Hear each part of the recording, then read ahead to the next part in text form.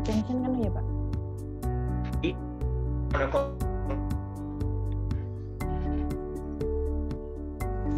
Satu slide sebelum. Oh, satu slide sebelum. Ya. Pak. Oke. Nah, tadi kita bicara habis skill metric, kita bicara performance evaluation. Ini buat saya penting juga. Makanya nggak ada yang nggak sebenarnya di HRD di HRD itu nggak ada yang nggak ada di dunia HRM itu nggak ada yang nggak paling penting. Semuanya penting. Nah, ini performance appraisal. Ketika kita sudah merekrut karyawan, memberikan job desk, memberikan target pekerjaan, mentraining, mendevelop, memberikan compensation benefit dan sebagainya, sudah saatnya kita menilai karyawan tadi. Ini yang tadi Pak Ainul tanya, low performance tapi semangat masih ada. Itu nanti sebenarnya ini kalau bahas lebih lanjut itu ada yang namanya kategori star. Karyawan ya, karyawan ada kategori star. Jadi semangat tinggi, kompetensi tinggi. Ada yang semangat tinggi, kompetensi rendah. Ada yang kompetensi tinggi, semangatnya rendah. Ada yang sama-sama rendah. Nah, yang sama-sama rendah ini yang harus dibuang nih, itu deadwood yang harus dibinasakan. Sudah kompetensinya rendah, performasinya rendah, semangatnya nggak ada. Ini, ini harus dibuang. Jangan sekali-kali mempertahankan karyawan seperti ini. Kasihan pun jangan, karena nggak ada value edit tapi yang yang paling bagus adalah semangat tinggi kompetensi tinggi. Ini jarang kalau yang ada kayak gini harus di retain ada yang semangat tinggi kompetensi tinggi semangatnya rendah. Ini masih bisa diajarin masih bisa di develop atau semangat tinggi kompetensi rendah. Nah ini kedua urutannya. Jadi semangat tinggi tapi kompetensi rendah dia bisa develop nah setelah di develop itu ada yang perlu namanya performance evaluation seperti yang saya bilang tadi penilaian kinerja kerja. Kita lakukan mana Pak lebih dulu? Penilaian kinerja dulu. Kenapa? Karena penilaian kerja itu simpel. I know itu bisa lihat semangat kerja dia, lihat kinerja dia, absensi, sering absen atau enggak, sering SKD atau enggak. Itu KPI, yang diukur KPI-nya dia. Bisa skill apa aja, tapi kalau penilaian hasil kerja ini sudah target. Sales contoh. Diberikan target 10 dijualnya. Yang bisa dijual 20 udah gampang kelihatan hasil kerjanya jelas. Ya kan? Pengoperasian mesin masak. Misalkan yang punya restoran masak masaknya enak. Udah masakan enak dapat respon dari customer enak. Biasanya kalau ke restoran suka suka ada tuh respon misalkan anda tidak puas harap kirim saran dan sebagainya. Itu jelas hasil kerjanya jelas paling gampang diukur. Paling gampang diukur tapi paling susah dilakukan. Karena yang planning kerja masih bisa apa namanya like and dislike.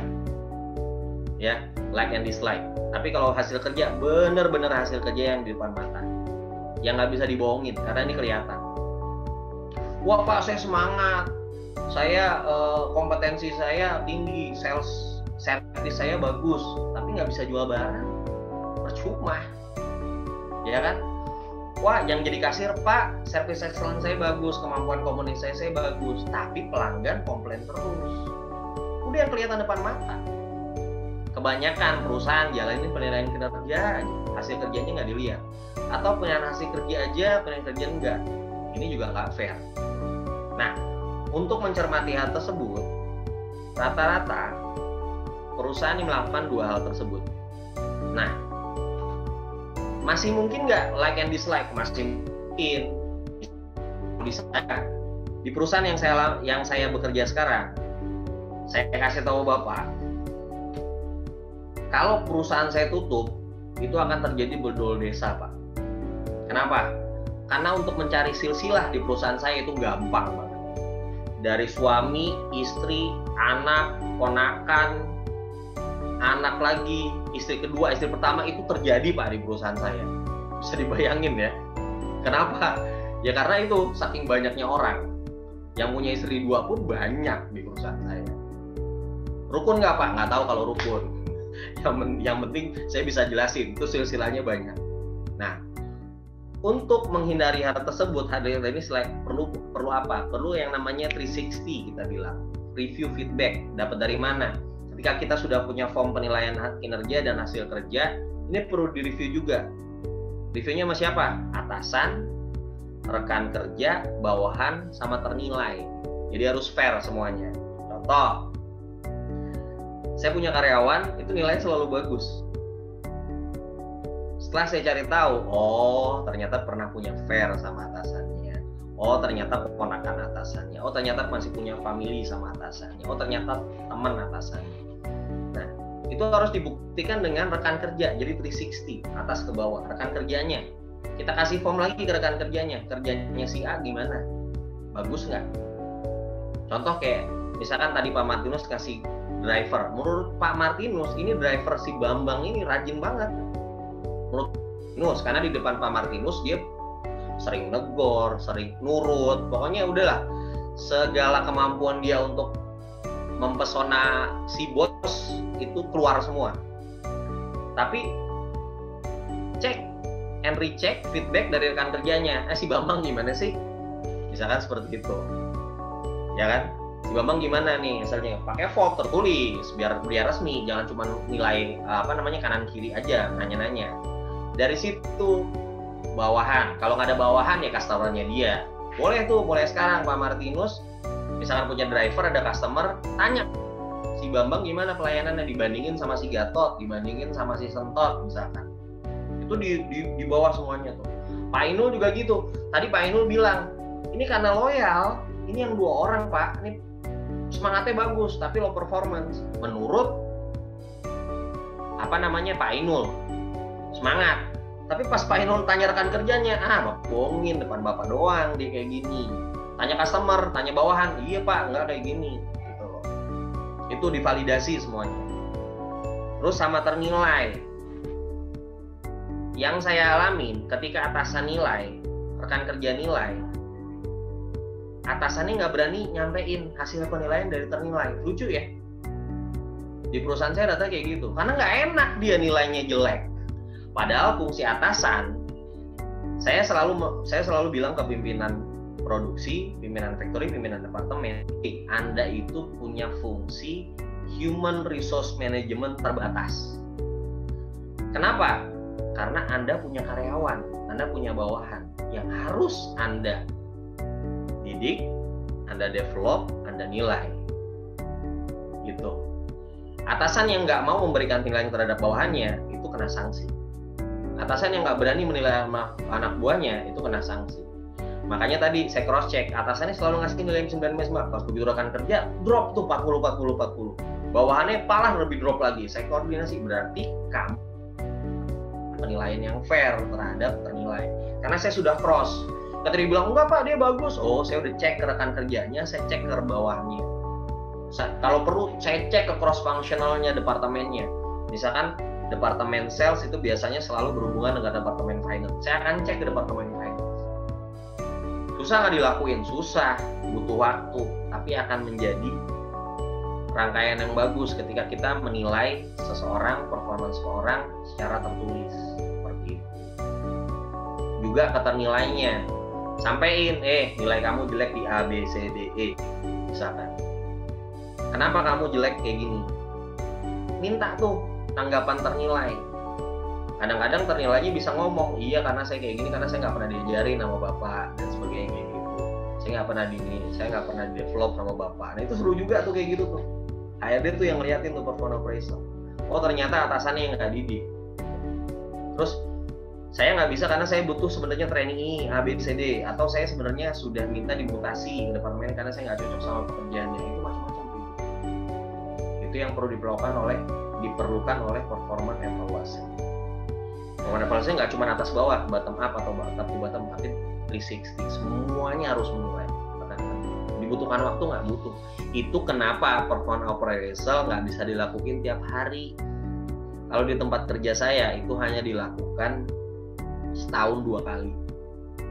Itu pun kita butuh waktu yang benar-benar ada orang khusus untuk performance appraisal gunanya apa performance appraisal ini gunanya nanti buat retain juga buat tambah bonus akhir tahun buat tambah bonus THR kalau ada.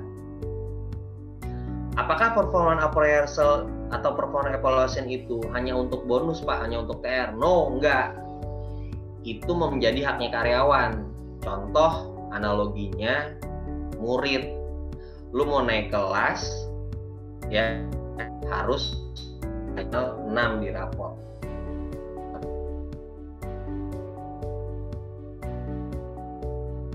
bekerja sesuai target yang kami berikan. Seperti itu. Jadi performance operation itu harus dilakuin. Entah itu wah 6 bulan terlalu cepat pak. Oke setahun sekali nggak ada masalah. Tapi harus tetap dilakuin. Gunanya buat apa? Nggak cuma buat bonus tapi itu buat kita menilai apakah karyawan yang kita miliki masih memberikan value edit atau memberikan nilai tambah buat perusahaan. Kalau enggak ya kita harus siap-siap mengulang lagi proses dari rekrutmen lagi, training lagi sampai ke retention lagi. Seperti itu. Itu yang kalau mau perform operation. Caranya gimana? Banyak. Makanya saya bilang kalau bidangnya HRD itu nggak cukup tiga jam, baru dibahas satu-satu. Makanya kalau yang kalau apa namanya uh, training tuh banyak tuh. Ada khusus jarang training HRM ngebahas langsung semua itu jarang. Biasanya how to be effective recruiter how to become effective training and developer misalkan kayak gitu. Terus analisa pekerjaan OD dibagi lagi jenis pekerjaan. Perpan ada khusus lagi retention ada khusus lagi. Oh banyak itu. Itu apa namanya? Kalau di trainer training training itu itu jadi bahan jualan tuh banyak tuh. Oh, tapi kalau saya kenapa saya full? Karena ini brief. Anda bisa ngembangin sendiri customize menurut uh, kebutuhan teman-teman. Tapi kerangka lengkapnya saya share seperti itu. Itu dari F training eh performance evaluation. Terakhir di retention. Nah, ini saya terima kasih nih sama Pak Martinus tadi. Dia one step ahead. Jadi kalau iklannya Yamaha zaman dulu, ingat Yamaha selalu terdepan ya kan? Ya tadi kita bahas skill metric Pak Martinus sudah maju nih ke retention great nih. Ini tipe pemilik perusahaan yang baik nih. Saking banyaknya saking baiknya duitnya diumpetin ya mas supir. Oke terakhir nih kita bicara masalah retention. Tapi kalau saya apa namanya mau teman-teman ada nggak jelas kita bisa ulang di slide-slide terakhir ini ini adalah rangkaian terakhir dari siklus tenaga kerja atau siklus human resource management. Retention, nge-retain, jelas, nge-retain, mempertahankan, menjaga, sama aja. Pertama yang saya bilang tadi saya jelasin sama Pak Martinus recognition itu paling gampang banget nih. Kita ngenalin karyawan kita. Jangan salah loh. Karyawan itu kita tahu hari ulang tahunnya dia kita tahu nama lengkapnya gitu. dan seperti itu. Malah banyak banget karya apa pimpinan yang nggak tahu nama nama apa namanya karyawannya. Itu luas. Jadi kita kadang nggak tahu. Atau kita nggak bisa bergaul dengan mereka. Recognition itu penting karena orang merasa dihargai. Seperti itu. Di berikan penghargaan lebih. Jadi dia ada sense of ownership kalau owner saya bilang tuh sense of ownership. Jadi mereka merasa memiliki perusahaan bukan sebagai pemilik perusahaan tapi merasa perusahaan ini udah jadi rumah kedua malah saya di rumah pertama. Kenapa retention penting? Itu menciptakan menciptakan uh, apa namanya sense of ownership, rasa senang karyawan untuk pergi bekerja, nyaman di perusahaan tuh susah nggak gampang. Percaya atau enggak believe it or not saya sering diprotes sama istri saya. Karena saya nggak pernah memaksimalkan cuti saya yang 12 hari dalam setahun. Malah kalau cuti istri saya bingung tumben kamu cuti? Atau anak saya itu selalu nanya ayah nggak kerja? Gitu kalau saya nggak kerja nggak kerja. Kok tumben ayah nggak kerja gitu? Bukan nggak seneng ayahnya di rumah tapi mereka heran. Kenapa? Bukan karena sense of ownership saya terlalu tinggi tinggi saya sama perusahaan. First, I love at first sight saya bilang.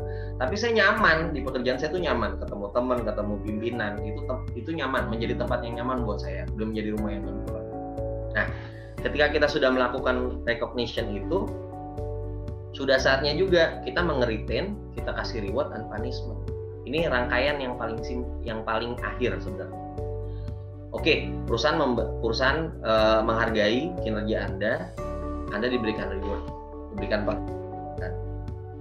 contoh kecil kalau teman-teman sering ke KFC atau ke McD atau ke Pizza Hut itu sering ada namanya employee of the month. Nah itu salah satu bentuk recognition tuh. Simple sebenarnya kalau saya tahu mereka cuma dapat tambahan gaji 100 ribu selama sebulan itu. Tapi buat yang lain terpacu, ah gue juga mau jadi player of the month, ya kan? Jadi masing-masing mau menunjukin nih performanya dia. Gue juga mau ah, walaupun tambahannya 100 ribu, tapi player of the month jangankan dilihat teman-teman dilihat customer aja keren apa namanya uh, jadi employee of the month bukan player of the month itu di Liga Inggris ya. Ya nggak? Kayak gitu. Di perusahaan saya yang saya uh, alamin itu ada yang namanya karyawan teladan setahun sekali. Dapat tambahan bonusnya per level jabatan. Dari mulai level team member tim leader sampai level group leader. Yang lainnya manajer nggak ada penghargaan. Maksudnya nggak ada jadi karyawan terbaik. Karyawan terbaik itu sengaja kita berikan ke level bawah. Group leader tim leader uh, tim member itu dari 500 75 sampai 100 itu selama setahun kita tambahkan gaji kita panggil mereka pada saat pelaksanaan HUT RI 17 17 jadi setiap perusahaan walaupun swasta kita ada kewajiban untuk upacara bendera. Pada saat itu itu karyawan teladan dipanggil untuk ke depan. Diberikan hadiahnya nggak banyak, cuman yang tadi jumlah nominal uang tersebut sama hadiah, hadiahnya kipas angin, kipas angin standing fan tapi yang kecil. Tapi yang menyalami karyawan tersebut itu dari level CEO yang punya owner sampai level manager, memberi salaman semua dan dipanggil lewat mikrofon. Factory satu atas nama A ini orang terbaik.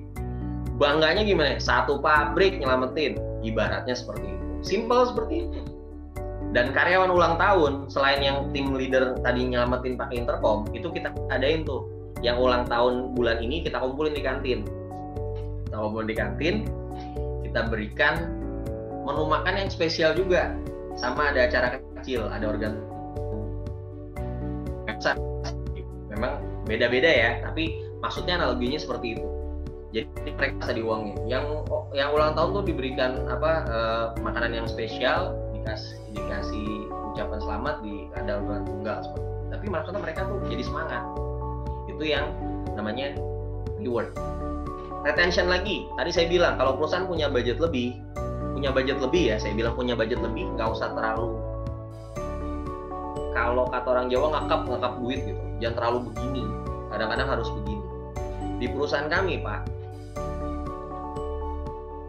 itu dulu turnover level team leader yang punya tenure bagus atau group leader itu agak sus agak sering keluar masuknya. Karena mereka punya skill mereka bisa pindah ke publik lain walaupun kita punya succession plan tapi kan succession plan tetap butuh waktu butuh pengembangan.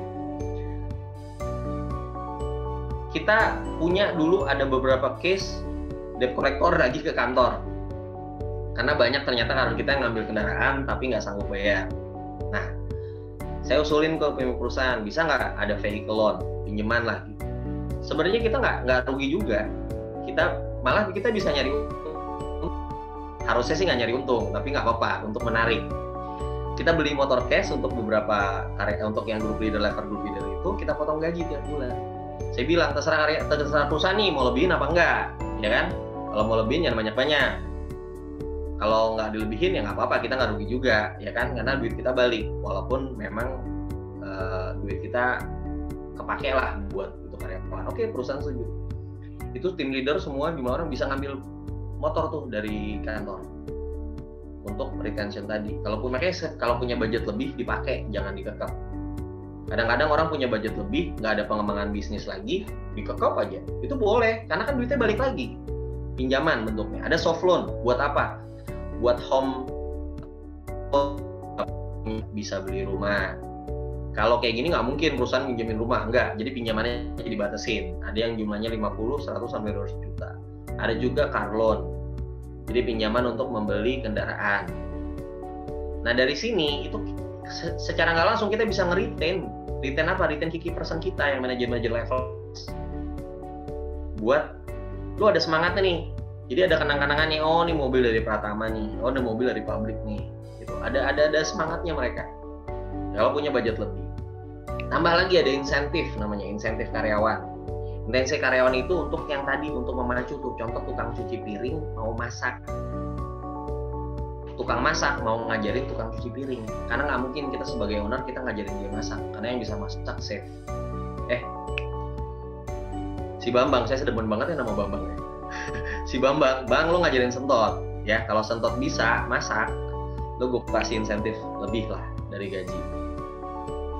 Lo harus belajar sama Bambang. Kalau bisa masak gue kasih insentif lo kecil tapi mereka bisa simbiosis mutualisme nih bisa saling ngajarin ada insentif leader ada insentif karyawan seperti itu. Jadi yang punya skill, yang punya ini kita kasih insentif lebih. Simpel seperti itu, simpel-simpelnya kayak gitu. Kalau punya budget lebih, jangan jangan jangan kalau kita mau ngeritain orang, mempertahankan karyawan, kita harus mau ngeluarin budget kita. Itu kenapa perusahaan ada yang namanya CSR. Kalau CSR kan buat pemerintah, ya kan. Kalau ini buat karyawan, dibalikin lagi tuh duitnya buat karyawan keuntungan. Walaupun nanti balik lagi. Tapi karyawan kan, wih, gila di perusahaan gue ada pinjaman buat mobil, ada pinjaman buat perumahan, ada pinjaman buat pendidikan. Padahal duitnya tuh muter balik lagi ke perusahaan, ya kan? Bayangin pinjaman soft loan atau yang katanya eh, pinjaman lunak di bank, apa sih namanya bukan soft loan, apa sih saya bilang TKA, TKA, eh kok TKA, ya yeah, pinjaman tanpa anggunan, ya kan? TKA ya?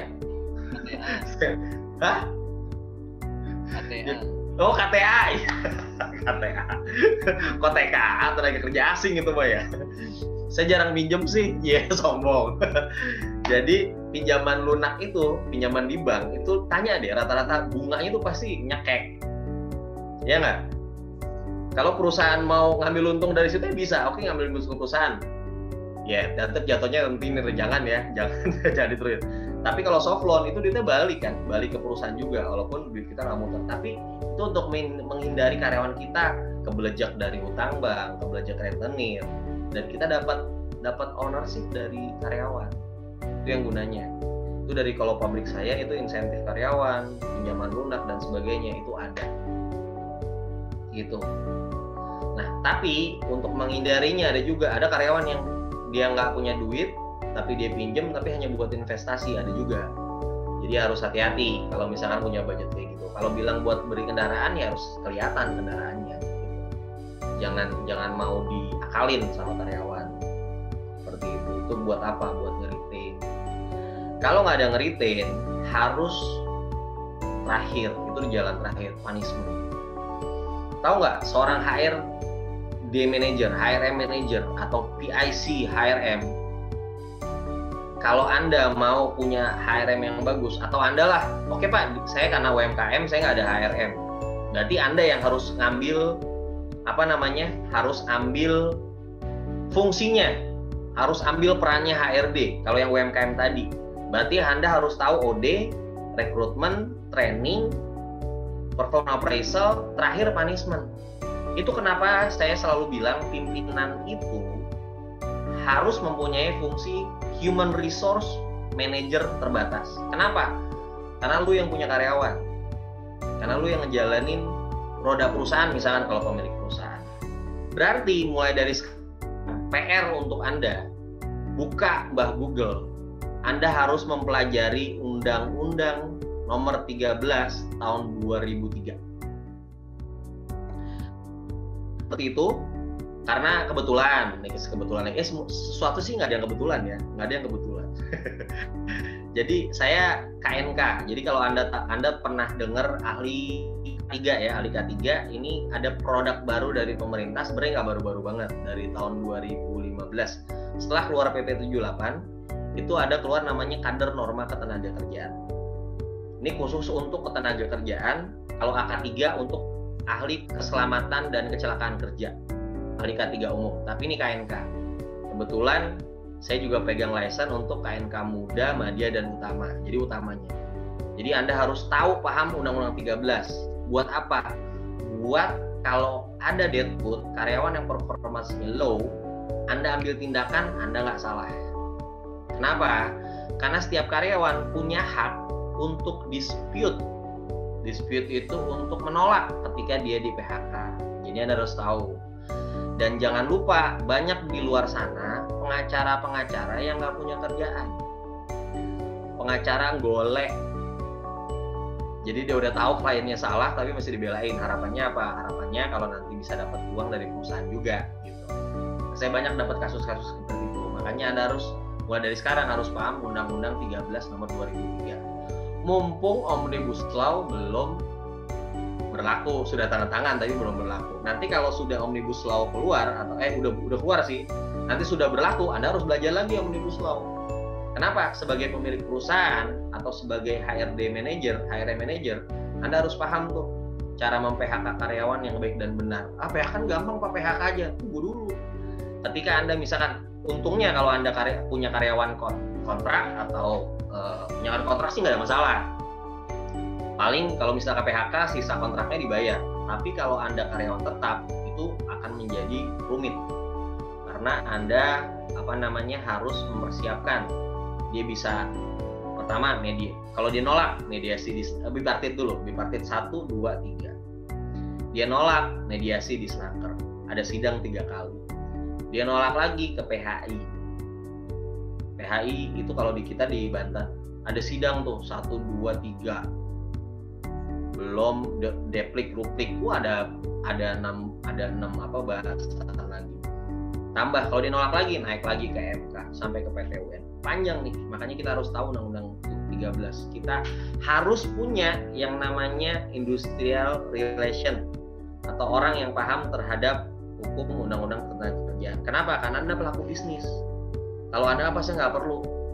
Jangan pernah buka usaha kalau anda nggak tahu hukum ketenaga kerjaan di Indonesia. Karena itu penting karena anda pelaku usaha atau anda manajer untuk ini tadi memutus rantai kalau ada karyawan yang deadwood tadi. Yang low performance yang nggak bisa kerja yang udah nggak mungkin mereka uh, apa namanya membuat edit buat perusahaan atau menambah nilai ini harus anda harus punya seperti ini harus ada sistem reward and punishment sama itu yang diberlakukan di pabrikan dan setiap itu lagi lagi lagi undang-undang Indonesia untuk karyawan di PHK itu selalu dapat dapat lebih banyak Nah, kalau bagaimana mensiasatinya? Ini anak emang nyarinya di PHK pak, biar dapat pesangon lebih banyak. Nah, itu kiat-kiatnya ada lagi gitu. Karyawan-karyawan yang bandel kayak gitu. Saya udah paling senang tuh kayak gitu, ngerjain karyawan kayak gitu. Saya kasih info, kalau kalau anda punya karyawan tetap dan karyawan tetap ini tahu undang banyak karyawan yang tahu undang-undang tenaga kerja. Dia nyari pesangon pesangon itu satu kali pasal biasanya. Satu kali pasal itu sembilan kali gaji yang anda harus anda keluarin. Nih kalau ada karyawan tipe-tipe kayak gini nih dia nyari dia nggak masuk dua hari dia minta di SP ya kan kita SP ntar nggak masuk lagi dimasuk lagi nggak masuk lagi SP 2 SP 3 nah ini karyawan yang tipe-tipe karyawan mau nyari pesangon. Nah kalau kayak gini nah sebagai pelaku usaha jangan mau diakalin karyawan kayak gini.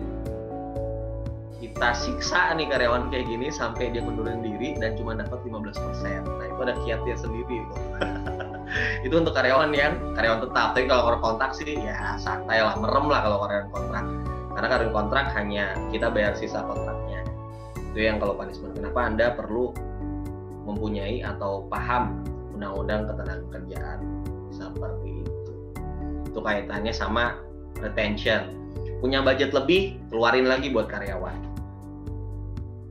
apa namanya uh, hubungan punishment harus kuat juga Nah, ini sih terakhir cuman gambaran. Gambaran dari investment on people. Seperti itu. Investment on people ini saya bagi dua sebenarnya, compliance, compliance atau normatif sama beyond compliance. Kalau ini pertanyaannya cuman where are we? Anda sebagai pelaku bisnis, Anda udah nyampe yang mana sih? Di compliance atau bio compliance? Kalau compliance tuh Anda punya pekerja tapi masih Anda kontrak atau permanen. Masih menjalankan payroll system, jadi hanya gajian aja udah. Tok nggak ada yang lain. Anda mentraining, Anda mencari hasil, sanksi, udah. Lakuin ini aja. Ini balik ini compliance. Ini yang tradisional banget. Tapi kalau Anda mau beyond comply, Anda mau bawa perusahaan Anda ke arah yang lebih baik lagi, sudah saatnya Anda mulai merecognize tadi menguangkan or apa menguongke gitu loh. Menghargai lebih lagi untuk pekerja Anda. Memberikan bonus atau insentif di luar gaji perlu nggak diukur lagi nanti kalau itu bisa contoh bonus dan insentif bisa meningkatkan penjualan Anda kenapa enggak? Anda peningkatkan penjualan Anda 100 Anda cuma belikan bonusnya 10 kenapa enggak? Ya kan? Atau Anda masih bisa dapat 50 dari pengeluaran Anda insentif 50 ukur ukur lagi perlu nggak diberikan bonus perlu nggak diberikan insentif?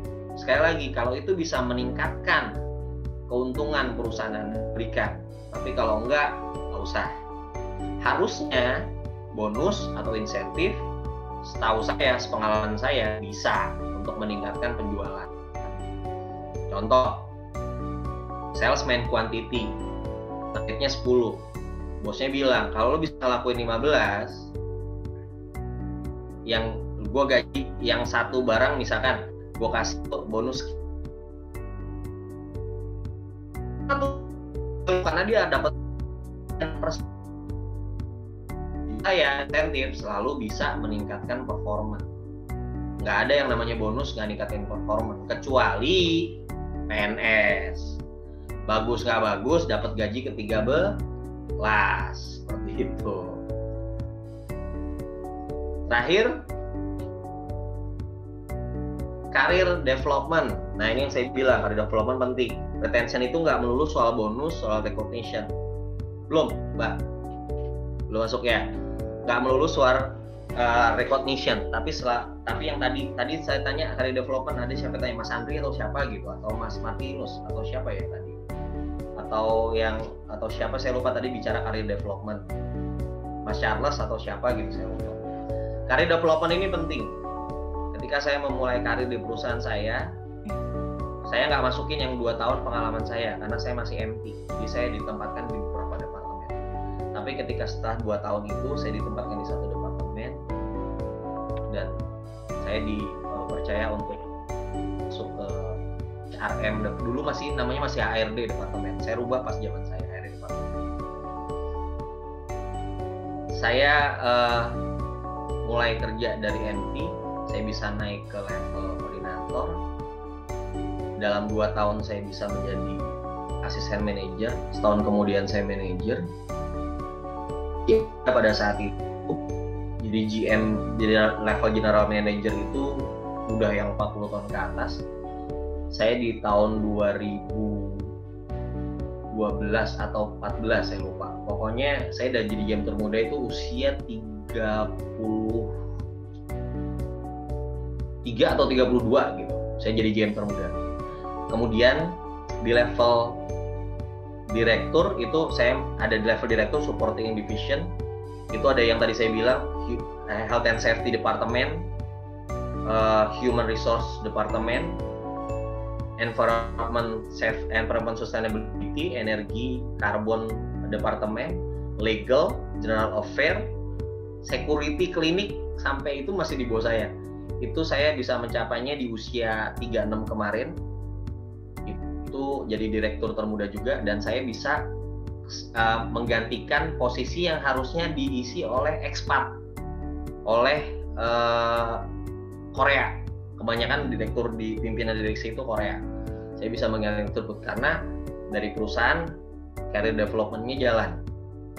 Walaupun saya bukan orang Korea tapi saya bisa masuk ke jajaran direksi Nah, ini yang lebih penting karir. Jadi ada pengembangan. Jadi jangan biarkan karyawan Anda 10 tahun kerja itu aja. Ya kalau dia performanya jelek nggak apa-apa, tapi ada kesempatan. Kadang-kadang perusahaan salah nih. Dia udah kerja bagus 6 tahun jadi second layer. Begitu ada posisi kosong, manajer atau koordinator dia carinya dari luar dulu. Kenapa nggak dari dari dulu? Gitu. Karena orang karirnya jadi mentok, nggak akan ada nggak akan ada jenjang karir. Nah ini juga penting untuk retain, untuk untuk apa namanya? Uh, saya pernah punya contoh teman saya dari dia bilangnya apa sih? Oh yang level pizza hut gitu dari trainer sampai jadi captain itu ada yang seperti itu. Jadi walaupun UMKM harusnya bisa.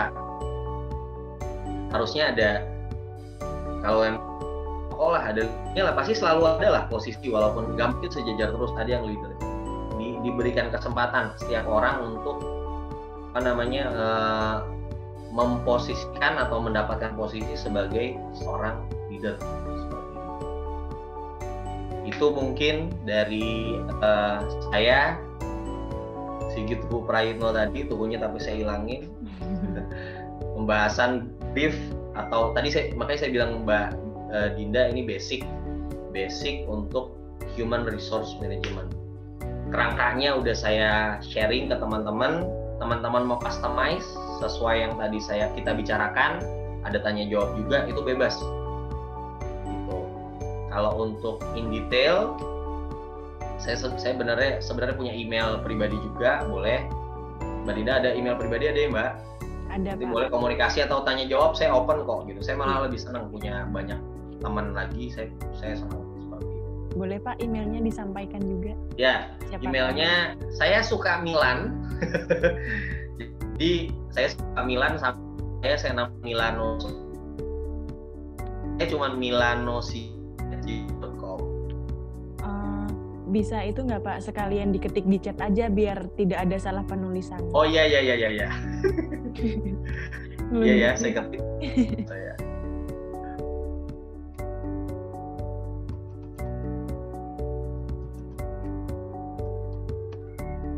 Saya Milan freak jadi saya dikenal oleh bapak saya. Saya itu cuma tahu satu klub bola zamannya Ruth Gullit sama Van Basten sama Fran Rijkaard AC Milan.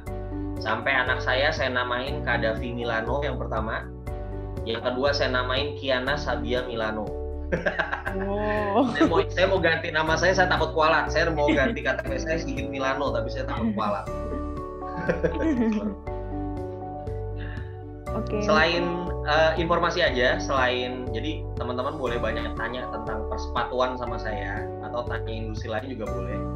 Karena selain eh, saya di Pratama Pratama itu eh, jadi bukan HR director tapi sustainability SMP ya sustainability manufacturing performance.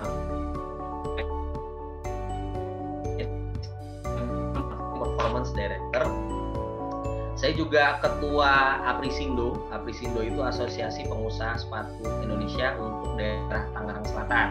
Terus Tangerang Selatan aja. Terus saya juga wakil Apindo untuk Tangsel. Jadi Asosiasi Pengusaha Indonesia. Itu Tangsel aja tapi Tangerang Selatan. Saya belum belum go internasional. Sama di Tangsel, kenapa saya tahu upah?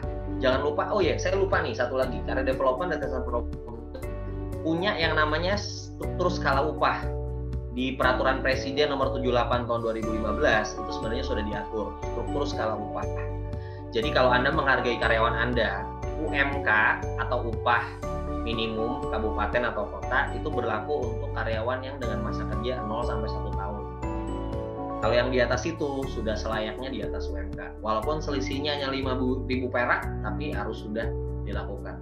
Struktur skala upah jangan samakan karyawan Anda yang tiga tahun sama satu tahun gajinya sama. Fungsinya buat apa? Yaitu tadi, buat menjaga semangat. Jadi harus punya struktur skala upah. Gitu. Wah, ada yang sama nih, Mas Edward Susanto. Nama panggung saya dulu Edu Van Basten. Hidup Milan. Waduh. Milan lagi bagus-bagusnya soalnya ini, nggak terkalahkan. Milan lupa kalah. Lupa kalah. akhirnya saya bisa ngecengin teman saya yang fans uh, Manchester United, Juventus dan sebagainya. Itu saja mungkin Mbak Dinda dari saya. Iya, Kalau ada kesempatan kita bisa ketemu lagi atau ada yang tanya, eh, masih boleh satu atau dua pertanyaan nggak sih Pak? boleh boleh. Forza Milan Pak, apa itu kalah? Cie. Mas Edward mantap. Eh, dari Pak Andri mungkin udah nyalain video mau tanya atau bagaimana Pak? Boleh.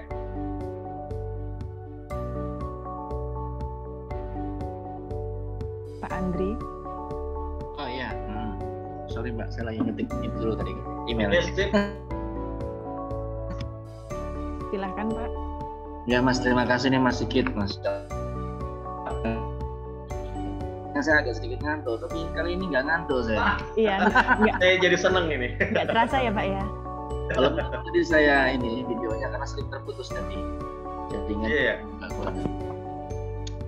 Ini mas eh, satu pertanyaan dari saya. Saya ini kan eh, kalau mas mungkin melihat dari sisi sudut pandang corporate ya. Sementara kan saya masih skalanya masih masih UMKM ya begitu ya. Ya. Ini eh, terkadang itu di UMKM itu ada ada ada satu satu masalah dalam dalam meng-hire ya kita mau merekrut karyawan itu terkadang kan pengennya yang kompetensinya bagus gitu ya cuman kadang-kadang orang-orang atau personal personal yang seperti ini tuh biasanya sudah apa ya sudah di hijack dulu sama corporate begitu ya Ya, Nah, kalau menurut Mas kira-kira untuk UMKM itu eh, standar apa ya untuk untuk yang paling penting lah gitu. Hmm. Yang paling penting itu karena kan memang kita juga kalau meng-hire yang biasanya orang-orang yang kompetensinya tinggi, kemudian experience-nya bagus gitu ya, itu juga biasanya kan apa namanya eh salary-nya juga tinggi begitu kan. Oh. Nah, itu kira-kira eh, untuk standar UMKM Mas ya. Hmm. Eh, ap- ap- apakah antara skill dengan attitude itu eh, ada ini enggak ya apa namanya istilahnya kalau memang dua-duanya nggak bisa diraih kira-kira mana yang paling penting gitu? Ya, ya, ya, ya. Nah, gitu Mas ya. Kalau corporate kan mungkin insya Allah eh, memang standarnya sudah ada ya karena Ya. memang nggak ada masalah untuk untuk untuk eh, apa namanya menggaji atau menggaji personal yang yang kompetensinya tinggi, pengalamannya eh, banyak gitu. Tapi kalau UMKM kan biasanya di sini masalahnya gitu. Kadang-kadang ya untuk meng-hire itu biasanya ya personalnya itu SDM-nya SDM KW3 biasanya sortiran gitu kan. gitu. Ya. Nah ini eh, menurut eh, Mas Sigit eh, dari sudut pandang Mas Sigit eh, kira-kira kami yang di UMKM ini seperti apa gitu? Ya. Ya, itu aja mungkin Mas. Oke. Kalau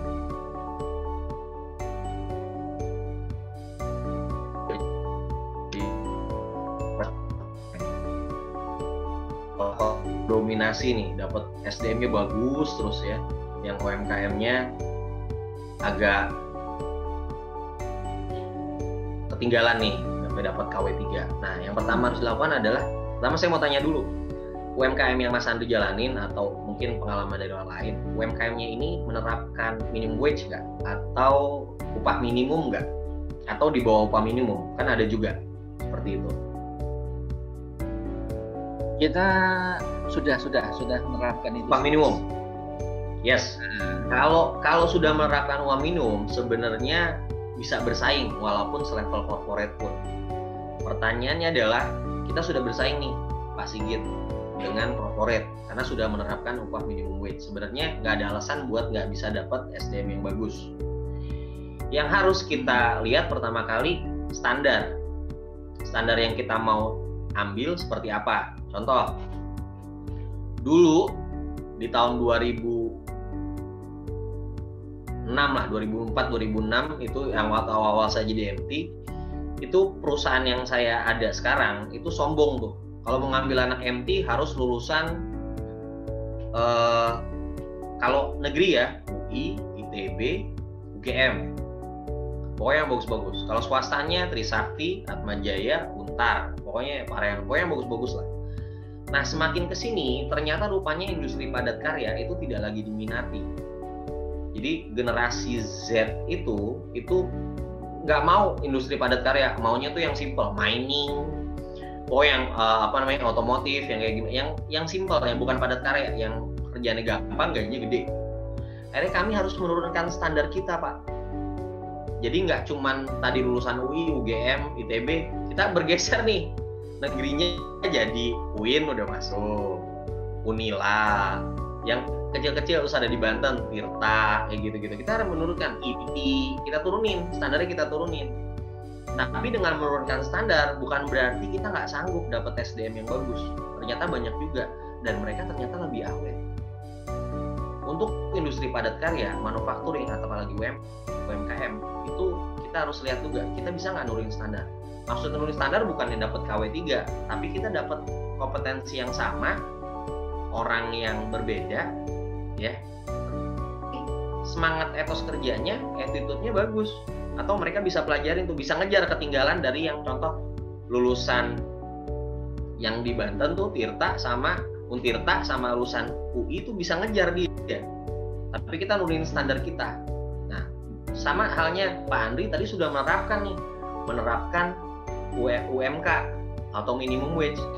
Tinggal cari SDM-nya tapi nurunin grade-nya nih. Buka peluang. Buka bank data bank data yang tadi. Cari peluang sebanyak-banyak rekrutmen. Ditawarkan apa namanya kan tadi sudah UMK dicari SDM-nya turunin standar. Turunin standarnya bukan turunin standar orang tapi turunin ikannya jadi nggak nggak harus dapat nggak nggak melulu ya. Universitas yang bagus itu uh, apa namanya uh, orangnya juga bagus tadi Pak Andri tanya, mana yang lebih penting? Pengalaman, attitude. Buat saya tergantung jenis pekerjaan. Tadi kalau spesialis, yang tadi Pak eh, Ainul sampaikan, kalau spesialis nggak bisa karena berdasarkan latar belakang, ya kan? non spesialis itu attitude Pak yang lebih penting. Benar kata Pak Andri, attitude yang lebih penting. Karena dia bisa belajar dari pengalaman, nanti dia bisa kita lengkapin kompetensinya job description atau jenis pekerjaannya kita lengkapin dengan job gap-nya. Kita develop nih job gap-nya sampai kita dapat yang harusnya dipenuhin. Memang agak sedikit memakan waktu, tapi kita bisa dapat orang itu, gitu loh. Ketimbang, tapi itu ya harus harus apa namanya yang yang tadi kalau belajar informalnya bisa kita dapetin, ambil. Tapi kalau informalnya kita nggak formal kita nggak bisa nggak bisa lawan juga. Harus dibutuhkan informal. Tapi kalau pertanyaan Pak Andri mana yang lebih penting? Attitude atau pengalaman? Buat saya attitude atau behavior. Karena ini orang masih mau belajar. Dan jenis pekerjaannya yang kita bisa pelajari informal. Tapi kalau formal nggak bisa. Seperti itu. Tapi harus turunkan gradingnya. Contoh saya nggak akan mau memaksakan untuk ngambil orang UI, ITB, UGM yang akhirnya kita develop hanya mampu bertahan satu tahun, dua tahun atau tiga tahun. Contoh, Pak Andri memaksakan untuk tadi nyari kompetensi yang bagus sehingga sentris ngelihatnya, ngelihat kowe lulusan lah atau background pendidikan. Tapi hanya bertahan di perusahaan yang Pak Andri diriin cuma tiga bulan, enam bulan. Ya kan sama aja kita dari bawah lagi dari nol lagi kerjanya. Mending kita nyari turunan grading standar, kita develop sehingga dapat kompetensi tapi Pak Andri bisa manjang nih. Jadi bisa nahan karyawan minimal tiga tahun. Contoh Pak Andri cuma butuh karyawan Pak Andri oh sorry perusahaan di, di bidang apa? Saya di penerbitan. Oke misalkan penerbitan. Tukang cetak misalkan printing ya. Misalkan printing seperti itu. Atau tukang desain lah. SMK ya Pak Andri mau SMK yang uh, desain grafis misalkan. Tapi ada nih lulusan contoh jangan salah loh di, di madrasah-madrasah itu atau apa sih kalau Alia ya? Kalau SMA apa sih? Ya, setara ya, Alia ya. Man. Ya, Alia ya. ya. Alia itu ada loh kompetensi-kompetensi yang sudah diberikan contoh kayak misalkan desain komputer dan sebagainya. Itu banyak peluang-peluang yang kayak gitu yang nggak mereka dapatkan terkadang kita sentris oh harus SMK desain grafis. Tapi di itu ada punya kompetensi. Sehingga ketika kita buka lowongan lamaran kita melihat CV-nya oh ini bukan lulusan dari apa namanya eh, teknik desain grafis atau SMK udah kita langsung tolak tuh. Sementara dia di, di CV dia tulisin dia bisa. Misalkan Photoshop dia bisa Corel Draw dia bisa. Tapi kita nggak mau coba karena kita berdasarkan ah lulusannya cuma lulusan aliyah nggak mungkin nih bisa. Padahal dia tulis tuh kompetensinya. Kita nggak mau nyoba. Akhirnya kita kehilangan tuh. Kehilangan source. Kehilangan sumber. Contoh. Saya punya mesin. Saya punya mesin itu yang namanya cutting laser pak. Cutting laser. Itu di format di waktu di sepatu. Cutting laser itu teknologi, teknologi baru. Jadi kalau cutting manual itu satu orang satu mesin hanya targetnya sekian hanya bisa tiga layer. Tiga layer kulit itu tiga layer. Tapi operator yang bisa mengoperasikan cutting mesin eh cutting laser itu bisa mereka bisa tiga layer. Itu settingnya jauh. Saya nyari operator itu. Yang dibutuhkan kompetensinya seperti ini. Bla bla bla bla. Nah ada satu kandidat yang dia punya kompetensi itu tapi beda nih. Jurusannya bukan itu. Tapi dia pernah belajar itu ternyata. Dia pernah dia pernah belajar itu waktu dia dikirim dikirim kerja gitu dikirim kerja ke Korea waktu itu. Tapi dari pabriknya dia dia belajar cutting laser itu walaupun bukan industri alas kaki dari industri otomotif. Ternyata cutting mesin itu sudah duluan di pakai laser potongnya tapi itu diimplementasikan cutting sepatu. Tapi karena backgroundnya dia itu sempat kelewat. Seperti itu. Sama halnya misalkan Pak Andri nyari source jangan hanya terpaku itu turunin standarnya tapi kita bisa reach. Daripada Pak Andri maksa untuk dapat karyawan pengalaman tapi hanya bertahan 3-6 bulan. Hilang lagi 3-6 bulan hilang lagi. Seperti itu. Jadi kalau Pak Andri tanya mana attitude? Attitude sama experience. Experience penting tapi nggak segalanya. Saya lebih seneng attitude. Kalau boleh milih nih 50-50 sebenarnya tapi attitude itu penting. Karena orang yang mau belajar itu lebih gampang ketimbang orang yang pengalaman terus kadang-kadang so tau diajarin nggak mau. Ngerasa punya kompetensi semua akhirnya susah berubah. Banyak pak yang kayak gitu. Kita juga dapat banyak karyawan banyak yang pengalaman. Akhirnya nggak mau ngikutin karena berdasarkan pengalaman dia dia selalu berdasarkan pengalaman dia. Pengalaman saya ini pengalaman saya ini. Akhirnya nggak bisa berkembang. Iya. Yeah. sip. Ada lagi? Mudah-mudahan menjawab ya pak. Yes yes. Thanks so much ya. Ya, sama-sama Pak. Mungkin itu dulu aja Pak, udah larut Pak Sigit juga mungkin mau istirahat, mungkin bisa closing statement Pak.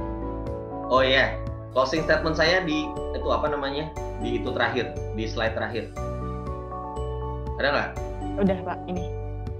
Satu lagi. Oh satu lagi. Nah, buat saya, buat saya terakhir bekerja dengan manusia adalah seni susah pak bekerja dengan manusia itu susah malah ada rekan saya saya bilang saya lebih senang mau mesin apa saya depin tapi orang saya bingung karena apa? Karena sifatnya macam-macam macam-macam sifatnya. Karena buat saya bekerja dengan manusia adalah seni yang tidak akan anda pernah bayangkan keindahannya. Ketika anda dulu ada orang yang bilang orang yang menguasai teknologi adalah orang yang menguasai dunia. Buat saya enggak. Buat saya orang yang menguasai orang yang paham bekerja sama dengan orang itu yang menguasai dunia. Karena apa? Teknologi yang menjalankan tetap manusia. Jadi anggap karyawan Anda sebagai investasi, bukan lagi sebagai aset. Itu investasi. Kalau investasi kan menghasilkan. Kalau aset diem aja, tapi investasi. Jadi loyal tidak selamanya, pengalaman tidak semuanya, tetapi kemauan, attitude, behavior dari karyawan Anda yang nanti akan menentukan maju mundurnya perusahaan Anda. Sehingga jaga karyawan Anda, retain ketika dibutuhkan dan jangan lupa session plan, persiapan untuk apa namanya uh, menggantikan peran posisi kunci sehingga tidak boleh seorang pun mengalahkan perusahaan atau perusahaan tidak boleh kalah dengan satu karyawan seperti itu. Itu saja mungkin mudah-mudahan bermanfaat. Saya manusia biasa, bukan Superman. Yang bagus itu pasti datangnya dari Allah, dari Tuhan. Kalau yang jelek pasti datangnya dari saya, gitu. Karena saya nggak cakep. Jadi ambil yang bagus-bagusnya, yang jelek jangan. Kalau ada pertanyaan lebih lanjut, saya lebih senang silahkan kirim email ke Milano Sigit. Nanti saya akan jawab semampu saya, sebisa saya seperti itu. Asal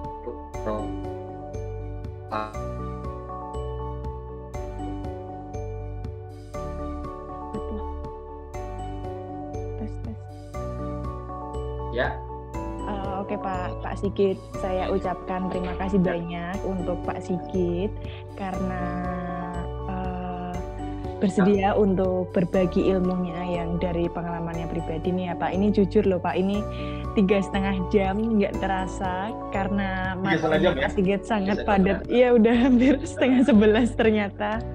Uh, terima kasih banyak uh, Siap, sama-sama. Pak Sigit.